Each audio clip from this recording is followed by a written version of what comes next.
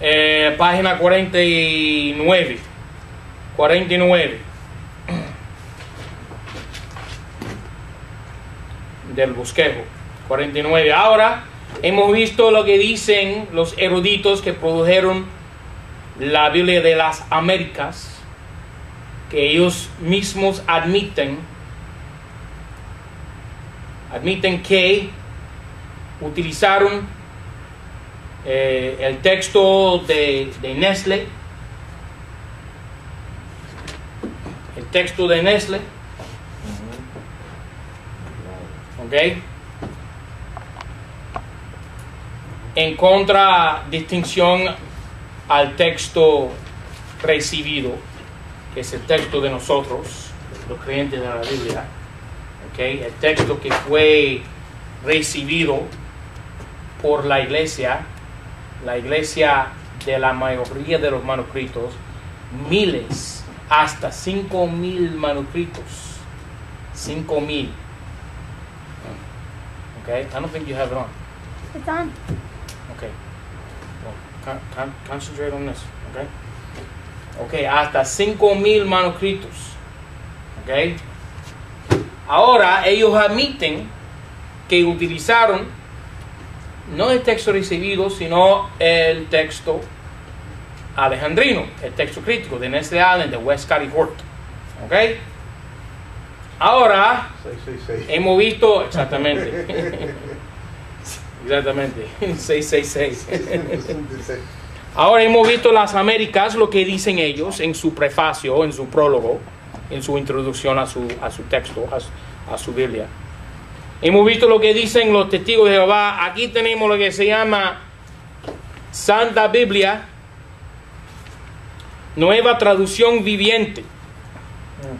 Dicen, al elegir un equipo de especialistas calificados, y de correctores de estilo hábiles. Oh, admiten que son correctores de la Biblia. Wow. Ok, Para ayudar a Dios, Somos por supuesto. Para elegir un equipo de especialistas calificados y de correctores de estilo hábiles. Y al establecer un proceso de, que permitiera interacción a lo largo de las etapas, la nueva traducción viviente ofrece una traducción refinada. Oh, gracias Señor que ya tenemos una traducción refinada. Después de haber producido ellos como 40 versiones, ya tenemos la, la refinada que preserva los elementos formales esenciales de los textos bíblicos originales. Oh, encontraron los ori- originales que se habían perdido. Gracias Señor, resucitaron los originales que se habían perdido y ya están producidos aquí en español para nosotros. Mentira. Formales esenciales de los textos bíblicos originales en un idioma claro. Hasta la fecha no ha sido la Biblia clara. Y comprensible. Hasta la fecha nadie ha podido comprender lo que dice Dios en su palabra. Gracias a estos eruditos ya tenemos una Biblia clara y comprensible.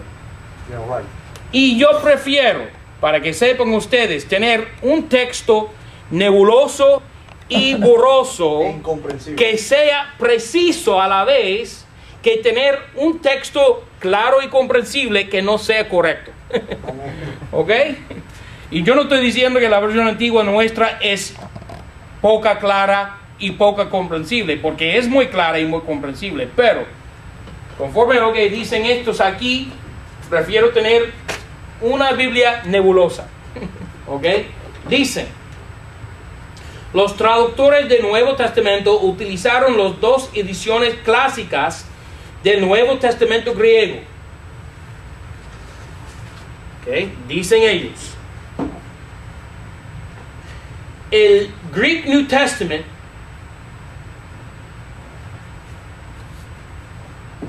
publicado por las Sociedades Bíblicas Unidas y el Novum Testamento Grace publicado por Nestle y Allen.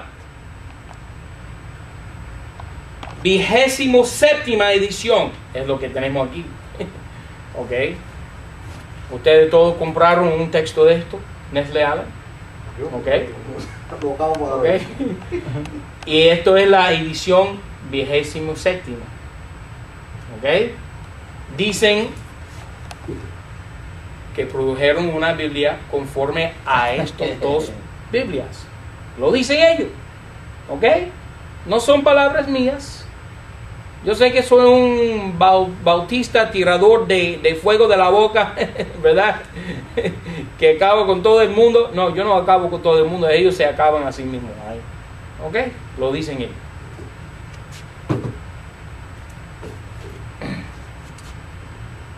Estas dos ediciones, coma, que tienen el mismo texto, ¿ok?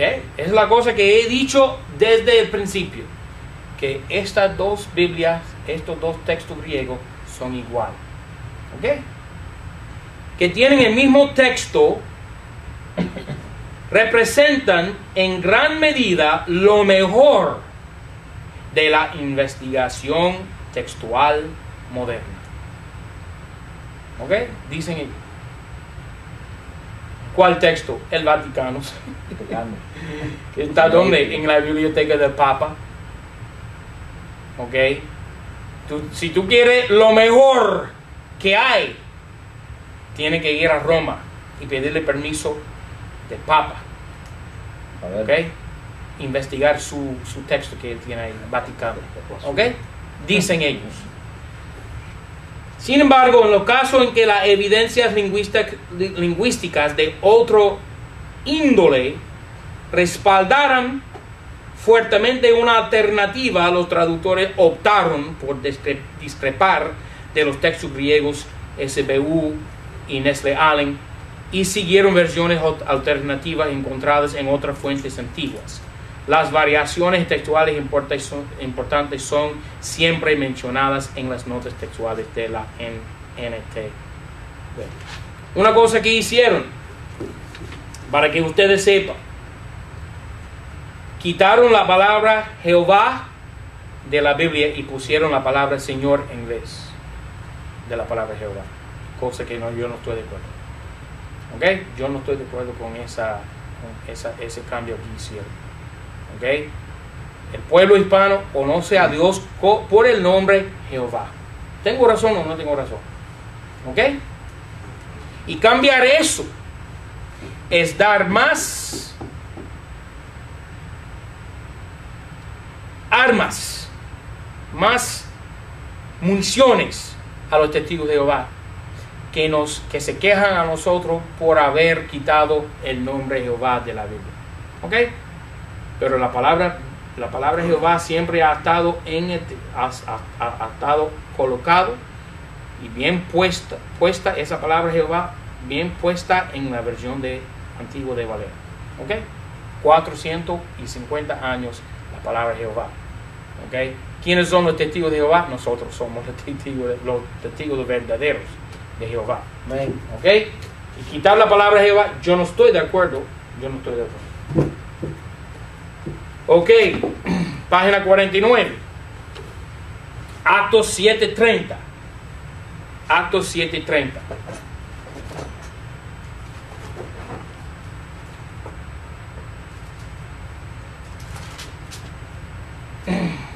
Y cumplidos 40 años, el ángel del Señor le apareció en el desierto del monte de Sinaí en fuego de llama en un zarzal. Ahora, mira por favor Éxodo 3. Esto es una esto es la historia de Moisés en el desierto. Llama de. Sí, sí, sí. Esto es la historia de Moisés. ¿Dónde? En el desierto. Mira Éxodo 3. Éxodo 3. Versículo 2. Y, pa- y apareció, a- a- apareciósele el ángel de Jehová. ¿Quién es el ángel de Jehová? Cristo. Cristo Jesús. Amén. ¿Ok? Apareció el, el ángel de Jehová en una llama de fuego en medio de un zarzal, y él miró y vio que que el zarzal ardía en fuego y el zarzal no se consumía. Se llama el ángel del Señor. Ahora, ¿qué pasa en la versión 60? La 60. Pasados 40 años, un ángel se le apareció. ¿Cuál ángel? No se sabe. ¿Qué sé yo? Un ángel cualquiera. La 60 no nos señala cuál ángel. Sabemos que el ángel de Jehová es Jesucristo. Y si en Actos 7:30 tenemos el ángel del Señor que es el Señor Jesucristo, es decir, que Cristo es Dios. Y quitar la palabra del Señor es negar su divinidad. Porque ¿quién apareció a Jehová, a Moisés en el desierto? Fue Jehová. Es decir, que Cristo es Jehová. Mira Éxodo 3, versículo 6. Y dijo, yo soy el Dios de tu padre, Dios de Abraham. ¿Quién? Es Jesucristo. ¿Ok? Él es el ángel de Jehová. Dios de Isaac, Dios de Jacob. Entonces Moisés cubrió su rostro porque tuvo miedo de mirar a Dios. Estaba mirando el ángel de Jehová y la Biblia dice que estaba mirando a Dios. El ángel de Jehová es Jesucristo y es Dios. ¿Ok? Y cuando la 60 y las otras versiones como Torres Amat, la 09, Dios habla hoy, el Nuevo Mundo de Testigos de Jehová, Biblia de las Américas, la NBI y la Nueva Traducción Viviente, cuando quitan la palabra del Señor, están negando la divinidad de Jesucristo. Mira Éxodo 3, el mismo capítulo I, eh, versículo 14. 14. Y respondió Dios a Moisés, yo soy. ¿Quién? El que soy. Yo soy Jehová. ¿Ok? El ángel de Jehová dice, yo soy el que soy.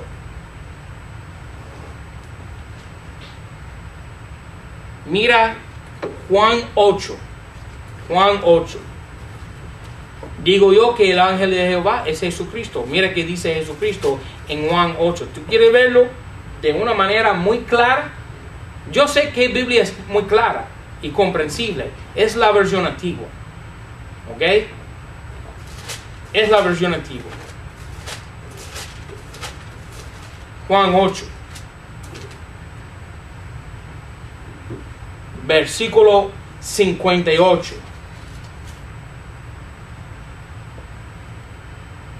Díjoles Jesús, de cierto, de cierto os digo, antes que Abraham fuese, ¿qué? Yo soy. Es la misma cosa que dijo el ángel de Jehová en Éxodo 3 cuando apareció a Moisés. Entonces, el ángel de Jehová, ¿quién es? Es Cristo. Y Cristo es Dios. Esta es la prueba de la divinidad de Jesucristo. La misma divinidad que niega el atalaya, que niegan los testigos de Jehová. Dice Cristo, yo soy. Mira Juan 18:5. 18:5.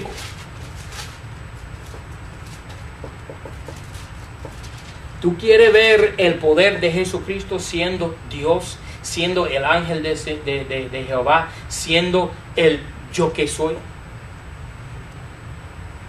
Mire 18:5. Respondiéronle a Jesús Nazareno, díceles Jesús, yo soy. Versículo 6. Y como les dijo, yo soy, volvieron atrás y cayeron en tierra. ¿Qué pasó? El poder de las palabras de Jesucristo siendo, diciendo, yo soy, era suficiente para hacerles caer atrás. Y estos son los enemigos de Jehová. Esta es la única aparición de lo que se llama el soplo del espíritu carismático en la Biblia. Y fueron los enemigos de Dios. Entonces, cuando tú ves una congregación carismática pentecostal de ellos, que, que, que, que Benny Hinn viene y le toca la frente de, de- de uno y cae, cae atrás, eso es indicar que, que- son enemigos de Jesucristo, porque aquí son los enemigos. Es la única aparición. Sí, señor, es un demonio. Tengo un testimonio de eso porque le di un librito a una carismática pentecostal en mi trabajo, que siempre está en las nubes, llena del Espíritu Santo, como ella dice. Sí, por Y supuesto. le di el libro de por qué no soy carismático. Y, y ella lo, llevó, lo leyó y se escandalizó, me dijo que, que eso estaba muy fuerte que, y se lo dio a su pastor. Y el pastor me mandó a decirle que era un falta de respeto. Por, por- Sí, que somos eh, culpables de qué? Blasfemar el Espíritu Santo. sí, dice que por eso voy a quemarme en el infierno. No es falta de respeto. Lo que ellos hacen es falta de respeto. Sí, señor. Porque están diciendo, están inventando cosas que no están en la Biblia. La única aparición de ese soplo de son los enemigos de Jesucristo. Y tú crees, oh, oh, oh, no, pero, pero, pero, pero eso, Cristo, Cristo hizo eso y eso fue una bendición a los soldados romanos. Y porque le prendieron y porque le llevaron preso. ¿Ok? Si se arrepintieron, le dejaron suelto. ¿Tengo razón o no tengo razón? ¿Ok? Son los enemigos de Jehová que cayeron en tierra. ¿Ok? Ese soplo de la vida, eso es falta de eso es blasfema del Espíritu Santo, lo digo yo. ¿Ok? Amén. Entonces niegan la divinidad de Jesucristo en quitar las palabras del Señor. Ahora volviendo a nuestro texto, vamos a mirar la evidencia de los manuscritos griegos, ¿ok? La evidencia. Mira por favor versículo 30 ahí en el aparato crítico, no, en, el texto griego, ¿ok? Comienzo a leer ahí yo, kai pleirocenton eton eh, tesa, tesarraconta eh, of, ofte auto ente eremo, desierto, tu harus, sina, monte Sinaí, ángelas. Pero ¿dónde están las palabras tu curio? ¿No están? Lo quitaron. Quitaron esas palabras. Ok, el aparato crítico, versículo 30. Y mira lo que se llama, lo que se llama inserción. Ok. Ellos dicen que los manuscritos tardíos, los manuscritos incorrectos, dicen ellos. Algunos copistas insertaron palabras que no pertenecen, pero ya vimos la citación de Éxodo. ¿Cómo puede, cómo puede ser que ellos nos van a acusar de insertar palabras cuando es una cita del mismo Antiguo Testamento que dice la misma cosa exacta? ¿Quieren blasfemando a, a- a Dios? Son ellos. Son blasfema- blasfemadores. Inserción, dice Curio, es una inserción. Pero tiene como respaldando la palabra Curio, Señor, del Señor, de Epsilon, Upsilon 33, 1739, la M gótica, la siriaca y otros. ¿Ok? Miles de manuscritos. Y el texto, el texto tenemos papiro Bodmer, que son todos de egipcia, sinaíticos y vaticanos.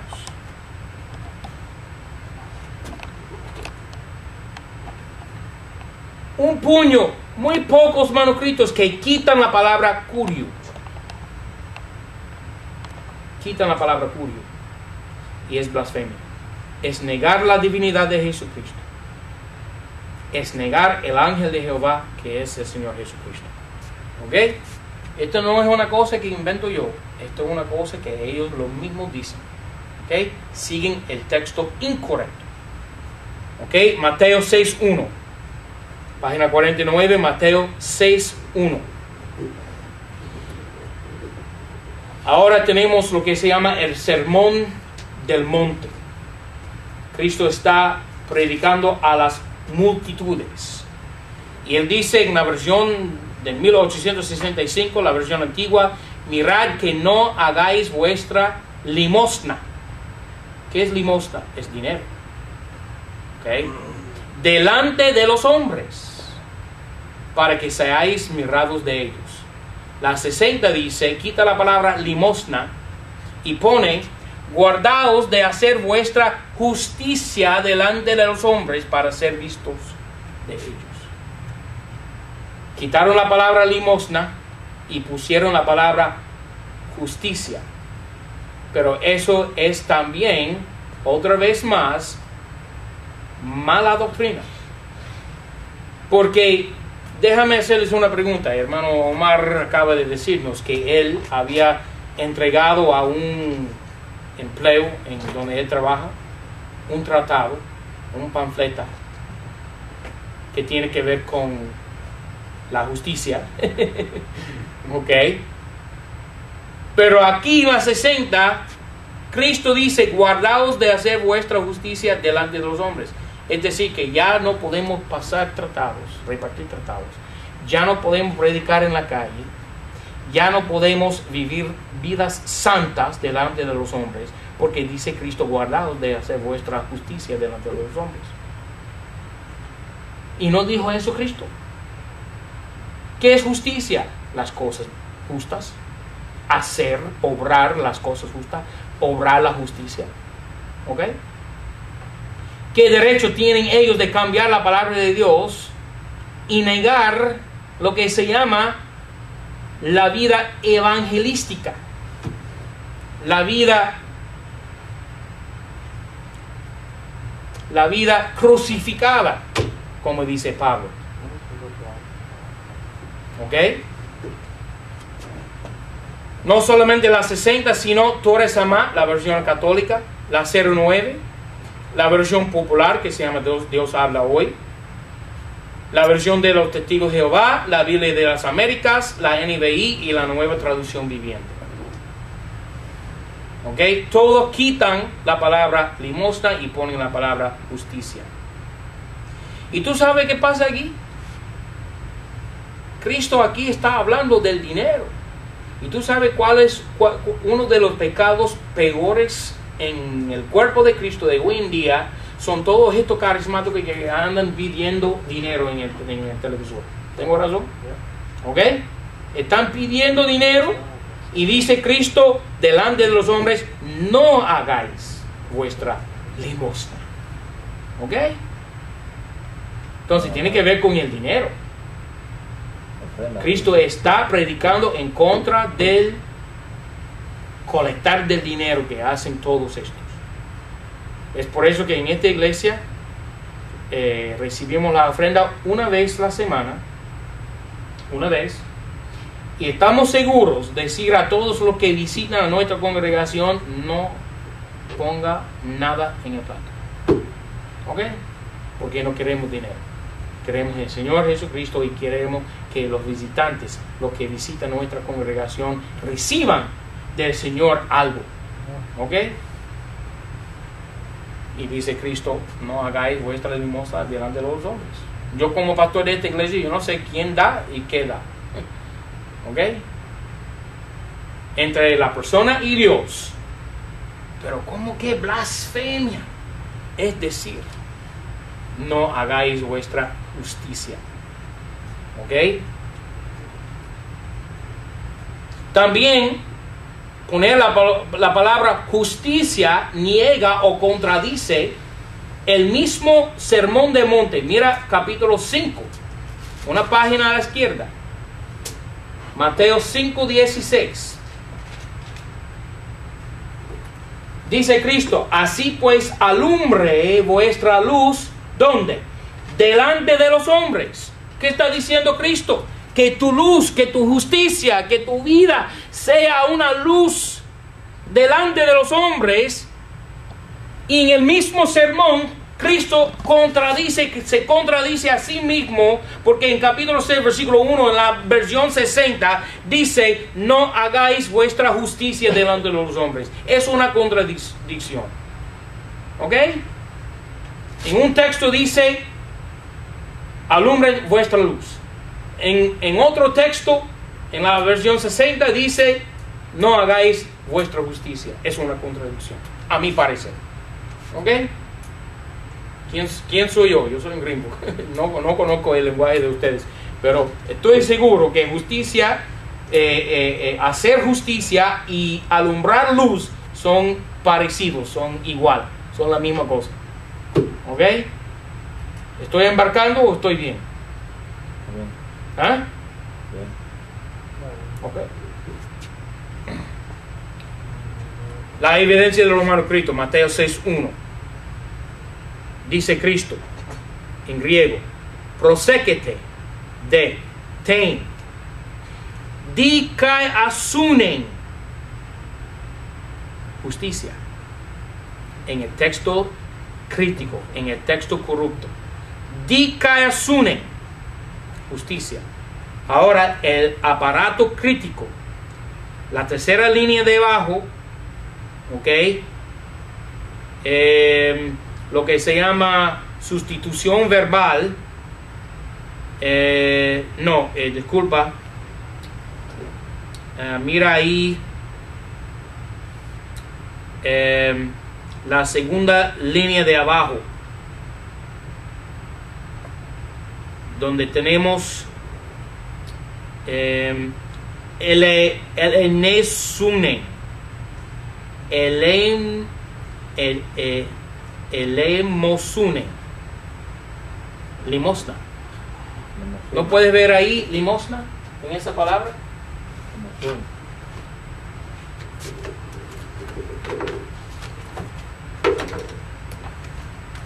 La palabra limosna proviene del griego. Ele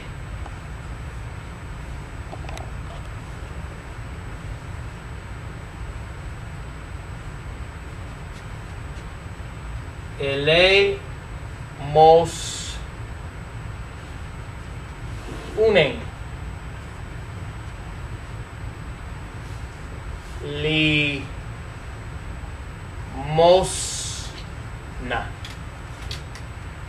¿Ok? Es la misma palabra. Griego y español. ¿Ok? ¿Qué evidencia tenemos por la palabra ilemosune? Tenemos mayúscula L, mayúscula W, mayúscula Z, mayúscula Z, la familia de F13, eh, manuscrito 33, la M gótica. ¿Qué representa la M gótica? mayoritario. Miles de manuscritos. La familia siriaca. Mira al final de esa línea, de esa fila, segunda de abajo, texto. Aleph y Vaticanos, siniíticos y vaticanos. Quitaron la palabra limosna y pusieron la palabra justicia. Haciéndose a Cristo, contradice a sí mismo, contradi- contra, contradecirse a sí mismo, negando la vida limpia que uno debe vivir delante de los hombres. ¿Ok? Negando el evangelismo que es para nosotros un, un, un mandamiento donde Cristo dice ir por todos lados del mundo y hacer discípulos, predicar el evangelio. Eso es hacer eh, justicia, ¿no? Pero la 60 dice, no, no hagáis vuestra justicia delante de los hombres. es una locura, es una locura. ¿Por qué cambiaron la palabra de Dios? ¿Quiénes son ellos para cambiar esto? bueno, ellos dicen ser especialistas calificados.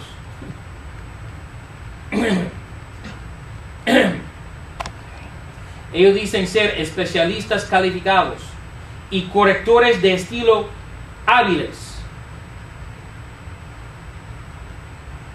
¿Ok? Son más especialistas que yo, que nosotros, y son más hábiles que nosotros. Por- pero son blasfemador- blasfemadores. Ok, página 50. Mateo 13, 45. No, pero los cambios no afectan doctrina. Sí, afectan doctrina. Mateo 13, 45. Esto es el famoso capítulo de Jesucristo dando parábolas en cuanto al reino de los cielos. Dice Cristo, asimismo el reino de los cielos es semejante a un hombre, a un hombre tratante que busca buenas perlas. Ahora, ¿quién busca buenas perlas? ¿Qué son las buenas perlas? Nosotros. Perla de gran precio, ¿no? ¿Ok? La iglesia. ¿Ok? Ahora, ¿quién es el hombre tratante que busca perlas buenas? Esto es una parábola. El Hijo del Hombre ha venido para buscar y salvar a los perdidos. Es Cristo Jesús. ¿Ok? El hombre tratante es el Señor Jesucristo. ¿Ok? Pero la 60 dice, también el reino de los cielos es semejante a un mercader que busca buenas perlas. Quitaron la palabra hombre. Quitaron la palabra hombre. ¿Ok? Ahora, posiblemente para algunos esto sería un, un ligero cambio. Pero yo adoro a un hombre que se llama Jesucristo. Amén. Y negar la humanidad de Jesucristo es la misma, es el mismo error como negar su divinidad. Los gnósticos negaron no solamente la divinidad de Jesucristo, sino su, su, humanidad también. ¿Ok? ¿Qué otras Biblias quitan la palabra hombre? La Torre Semá, católica, la versión popular, Dios habla hoy. Nuevo Mundo de los Testigos de Jehová, Biblia de las Américas, la NBI y la Nueva Traducción Viviente. Todas esas versiones quitan la palabra hombre. ¿Y qué palabra en griego es hombre? Antropas. Antropas. ¿Ok? Ahora mira por favor ahí el texto griego. El texto griego. Versículo 45. Palín, Hamoya, Estín, Hey Basilea, el reno. Hey Basilea, Ton Oranon, el reino de los cielos. Antropo, aún el texto de Nestle Allen tiene la palabra antropo. Entonces, la 60 se basa en unos manuscritos, pocos manuscritos, que aún la- el texto griego corrupto no niega. ¿Ok? Quitaron una palabra sin evidencia casi ninguna. ¿Ok? Ahí la- la- el círculocito que se llama omisión verbal. Omisión verbal. Mira el aparato crítico. Aparato crítico. Ese círculo representa Aleph y Bet, sinaíticos y vaticanos. ¿Ok? Pero el texto, que es correcto esta vez, esta vez el texto de Nestle Allen es correcto. La 60 no. Es decir, que la 60 es peor que el texto crítico. Porque solamente se conforma al texto vaticano y el texto sinaítico. ¿Ok? La evidencia a favor de la palabra hombre son una copista de Aleph. Entonces, hay dos versiones de Aleph, de Sinaítu. La mano original y una segunda mano que corrigió y puso antropo en el margen del texto. ¿Ok? Aleph, C, D, L, W, Z, 106, 233, 242, 250, la familia de F, 1 y 13, minúscula 33, la M gótica, y hasta Orígenes tiene la palabra antropo en el texto. ¿Y por qué la 60 la quita? ¿Ok? Otra vez más, la evidencia de los manuscritos respalda a nuestra versión antigua. Hombre, el hombre es Jesucristo. ¿Ok? Hay un Dios y un solo mediador entre Dios y los hombres, el hombre Jesucristo. ¿Ok? Entonces la 60 niega la humanidad de Jesucristo. Ok, Mateo 5.22, página 50. Mateo 5.22, este es el último que vamos a hacer hoy. Mateo 5.22. Dice la versión antigua, yo pues os digo que cualquiera que se enojare sin razón con su hermano estará expuesto a juicio. Ahora déjeme hacerle una pregunta. ¿Alguna vez Cristo se enojó? Oh, yeah. Oh, sí, muchas veces. Marcos 3.5. Mira Marcos 3.5. Dice la palabra de Dios. Marcos 3.5.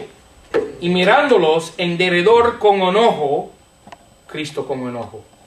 ¿Ok? Condoleciéndose de la dureza de su corazón, dice al hombre, extiende tu mano, y la extendió, y su mano fue restituida, sana como la otra vez. Vinieron los, los, eh, los con quejas, los eh, eh, blasfemadores, los negadores de Cristo, diciéndole que no sanara en el día de salvo, sábado. ¿Ok? Y Cristo se enojó con ellos. Mira Marcos 10, 14. Marcos 10, 14. Entonces, es decir que Cristo tenía razón por qué enojarse. Tenía razón. Porque dice la versión antigua, cualquiera que se enojare sin razón, es decir, que Cristo se enojó con razón. ¿Verdad? Marcos 10, 14. Dice, y viéndolo Jesús se enojó y les dijo, dejad los niños venir a mí y no se los vedéis, porque de los tales es el reino de Dios. Viene- Vienen estos niños para adorar a Cristo y para ser salvos por Él. ¿Y qué pasa? Los fariseos, hasta los discípulos, vienen para negar la salvación de ese, ese niño. Y dice Cristo, se enojó y dice, no haga eso, no hagan eso. ¿Ok? Porque de los tales es el reino de Dios. Con razón, Cristo se enojó con sus discípulos. Con razón. ¿Ok? No sin razón, con razón. Mira Marcos 11:15. Marcos 11:15. Ahora es de la famosa historia de Cristo en el templo. Y cuando él ve los mercaderes, ¿ok? Vendiendo animales y otras cosas que tienen que ver con el culto del templo. ¿Ok? ¿Qué hizo Cristo? Los echó fuera. Se enojó con ellos. Mira, 11, 15. Ahora ustedes ya saben que la 60 quita la palabra sin razón, ¿no? ok, la 60 dice, pero yo os digo que cualquiera que se enoje contra su hermano será culpable de juicio. Es decir, que Cristo es culpable. Yeah. Es un pecador. Quitar las palabras sin razón. Marcos 11, 15. Vienen pues a Jerusalén y entrando a Jesús en el templo comenzó a echar fuera a los que vendían y compraban en el, en el templo y trastornó las mesas de los cambiadores y la silla de los que vendían palomas. Tú puedes imaginar a Jesucristo, él va ahí y toma la mesa y lo derruba, lo tumba, enojado y hace más cosas que eso. 16. Y no consentía que alguien llevase vaso por el templo. Oye, oye eso. Él tomó control completo de ese templo. ¿Ok? Y, y- y los echó fuera, tumbó toda la mesa de los cambiadores y se enojó con ellos, se puso bravo y no dejaban a entrar nadie. A nadie. Y les enseñaba diciendo, no está escrito que mi casa, mi casa, él dice mi casa. El templo en Jerusalén, Cristo dice mi casa. Es decirse Dios. ¿Ok? ¿Qué más prueba necesita que Cristo era Dios? Él dice que el templo santo en Jerusalén, el centro, el enfoque del culto judío, es el templo, pertenece a Él, a Jesucristo. Mi templo, mi casa, casa de oración será llamada de todas las naciones, mas vosotros la habéis hecho cueva de ladrones. ¿Ok? ¿Ok? Él era fuerte en contra de la blasfemia, de, de- de- de la mala doctrina. Era feo, enoja- enojado en contra de eso. Y se puso bravo. Con razón. Ahora, ¿qué evidencia tienen los de la 60 y la Torres Amat y la versión popular Dios habla hoy y Nuevo Mundo, Testigo de Jehová y Biblia de las Américas y la NBI, la, la nueva traducción vive? ¿Qué evidencia tienen ellos? Quitar las palabras sin razón. Mira el versículo 22. Ego de lego.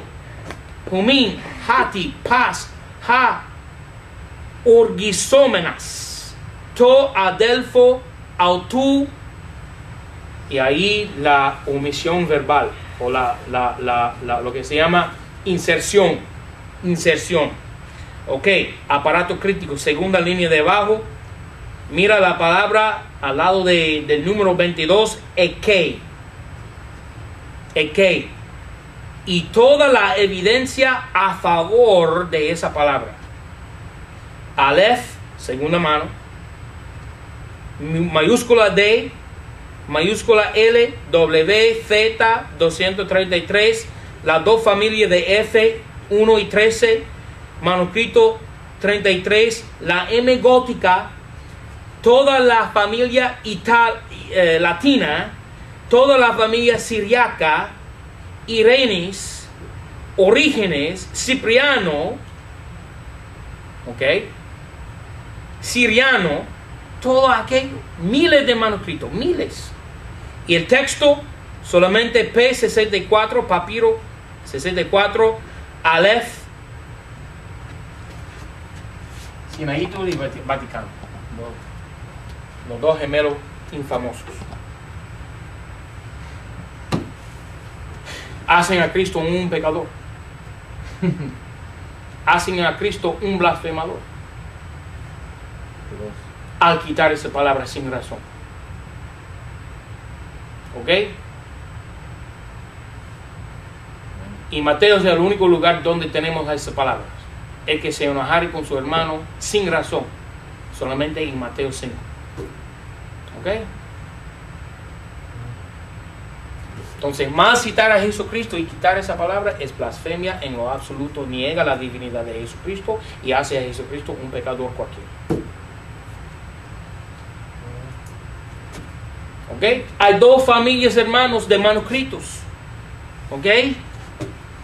El texto corrupto, producido por Orígenes y los gnósticos de Alejandría, Egipto, y no nosotros no sacamos ninguna Biblia, nosotros creyentes de la Biblia no sacamos nuestra Biblia de Egipto, ¿ok?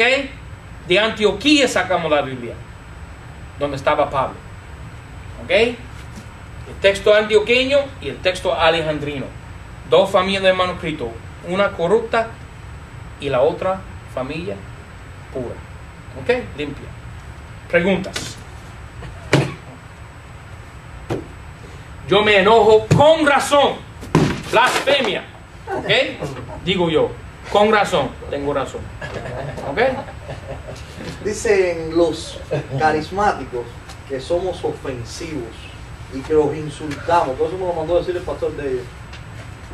Y que ellos- él no quisiera, él no, él dice que le dijo a ella que como, como pastor de su iglesia, él no venía a verme a mí, a darme la cara, porque dice que iba a, a cometer un pecado eh, como hombre y no como siervo de Dios.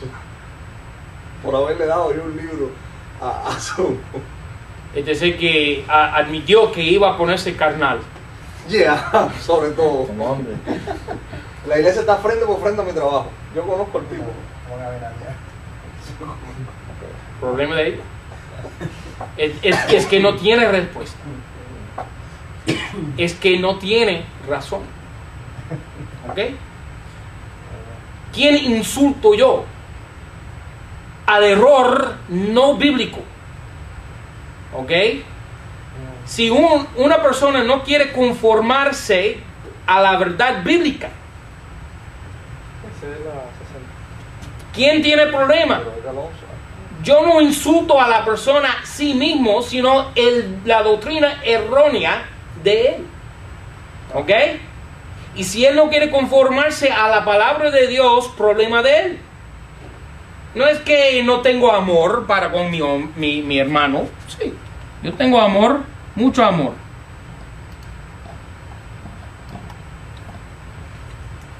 Tengo suficiente amor. Bastante amor. Yo no odio a nadie. Yo no estoy en contra de nadie.